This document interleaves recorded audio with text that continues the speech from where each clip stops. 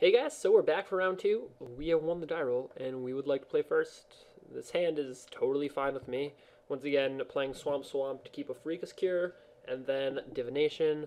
Uh, fairly good hand against pretty much anything, actually, uh, with the second removal spell already in hand. So there's where our temple went. So they may have been the player to our left, or maybe the temple got further around the table. I do not know. Alright, so this may be the other black player I was talking about earlier. We've drawn two lands in a row. How unlucky. And then two business spells. Alright, sweet. So we have our second divination, if we need it. So that card is actually very good. Um, every time I have played against it, I have feared it, as they say. Is there anything we can keep up for one blue or one black? Not believe so. We're also going to have to discard this turn, right? Because we play this, we go down to six cards in hand, and then we're going to have to discard? Yeah. Alright, so I guess I'll just keep up a black. Ship the island to the bottom, keep the emissary on the top, and draw Lash of the Whip. Um, so with Lash and Sip, we can probably get rid of Pharika's Cure at this point. We're just gonna, I mean, we just want to play Sealock. I believe. Or maybe we even want to, yeah, so maybe we even want to Lash here. Um, actually, I'm okay with this. Like, if he has a trick to get rid of it, then that's fine.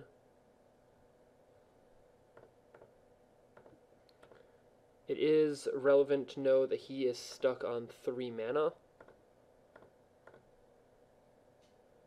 So, like, I'm willing to trade with a trick here.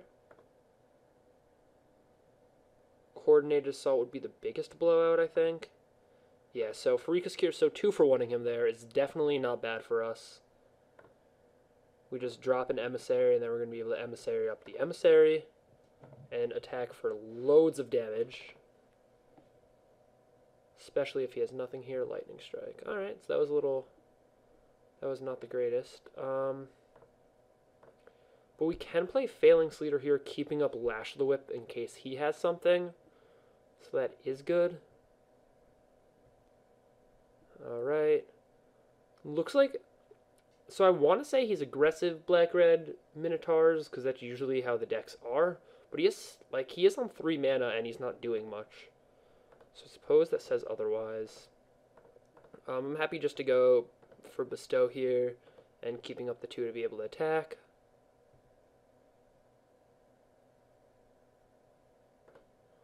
Oh, I have to. Uh, I, that was terrible, guys. Sorry about that. I have to. I have to declare earlier than the begin combat step.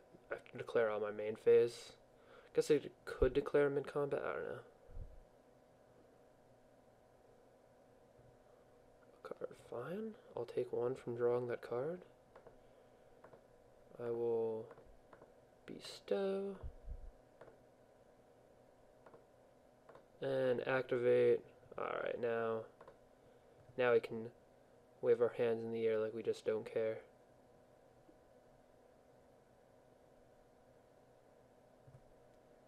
Alright, so I have to show him everything. Um, don't really care what he takes at this point. Like, we're so far ahead that unless he can kill our return phalanx, uh, we're winning. So that's good. Takes lash. Fortunately for us, yep, fortunately for us, we have enough mana to kill Fate Unraveler and attack. Yeah, so I don't think there's anything as big as a 9-10 when we put the Baleful Eidolon on it next turn. It's going to be able to do anything against us, so think we should be okay here. If we draw another creature, he's also just dead to Erebos' Emissary, discard Baleful Eidolon, discard creature to be named later. Alright, so he's not just dead to that. So this is just Oh my god, I did it again. Sorry, guys. Not very good at this game. Or not very good at remembering when to do stuff. Alright. So let's do this first. And then let's just see if we have him.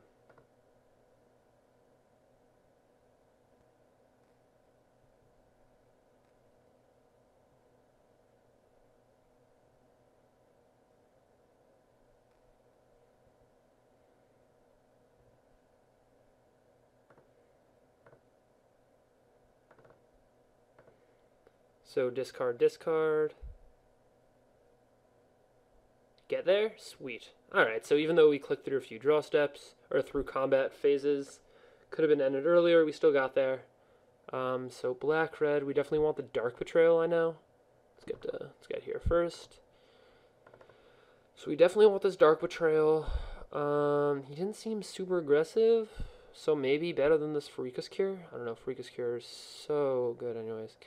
Got away with that garbage play. Yeah, yeah, okay. Well, you, sir, I do not appreciate your negativity. Alright, so Dark Betrayal is very good here. Hmm. Pharika's Cure seemed not good, but, like, he could have aggressive stuff. And, like, it is a removal spell. So what do I not want? Sealock Monster we'd have to like turn on to get big. Nyxborn Eidolon maybe. Yeah, I may take away the Nyxborn Eidolon, Sign on the Dark Betrayal, and submit. Alright, that seems it. Alright, see you guys for game two. Alright guys, so we are back here for game two. We got the player on the draw. Are on the draw. And we will not mulligan this. So once again, leading off with a swamp keep up Pharika's Cure if we happen to draw the next swamp.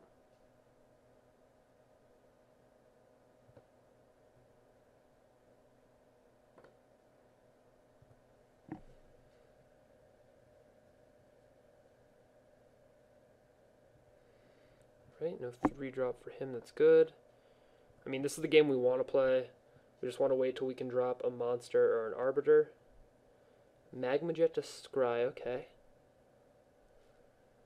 Suppose that is reasonable. Again, nothing. Well, do we want to keep up Griptide or do we want to play Servant?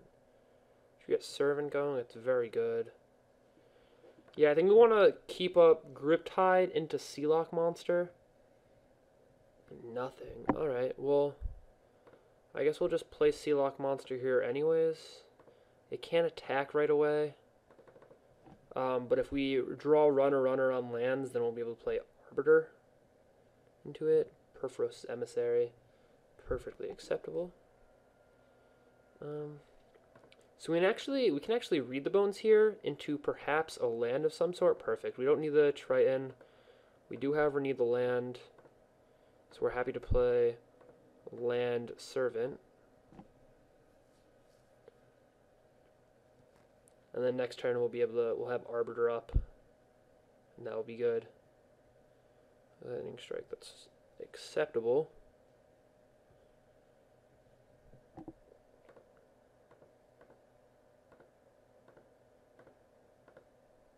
So we'll play that, and we'll actually just play the Vortex Elemental um, in case he kills one of our things, and we need a second blocker.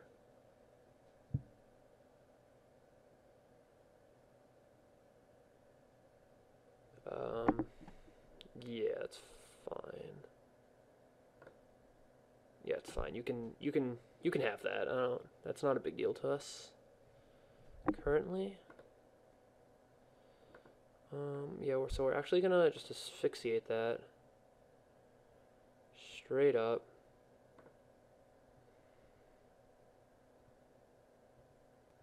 And then, yeah, hopefully, hopefully we can start uh, the value train with Arbiter. If you had anything to say about that. No, he did not. Alright, that's fine.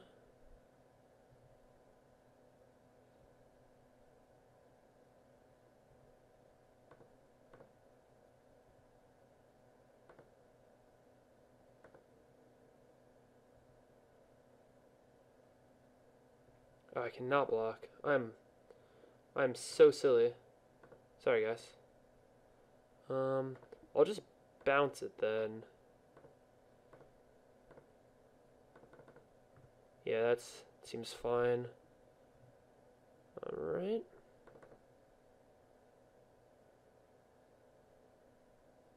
So I want to keep lash up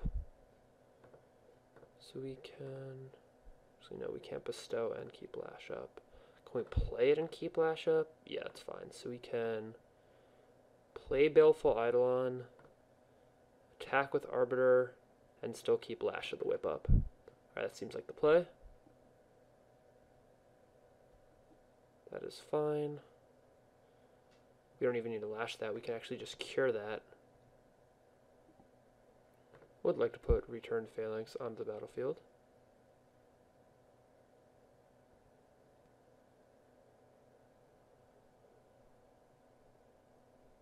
Uh, it's an enchantment in addition to its other types. It's fine.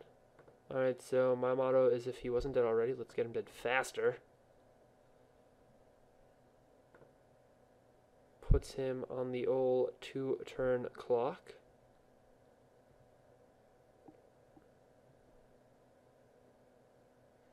I guess we should have left the island up to use the vortex if we needed to. Um, I believe he is pretty dead anyways. Got no more sass from our opponent.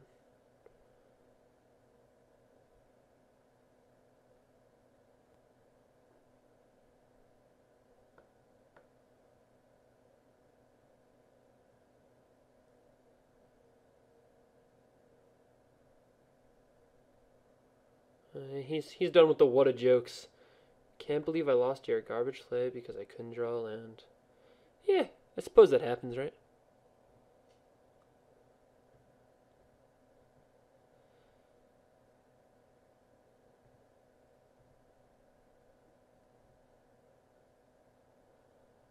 Lash is fine.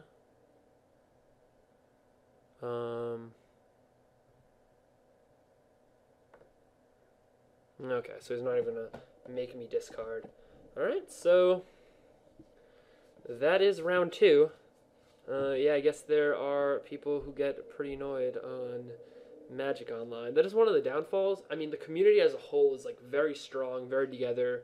Uh, lots of super nice people you meet on here. But, you know, obviously, any online game where people can just kind of like go off when they're not winning, you know, it's not the greatest. So, we make it to the finals, and we'll see what happens. All right, see you guys back for the finals.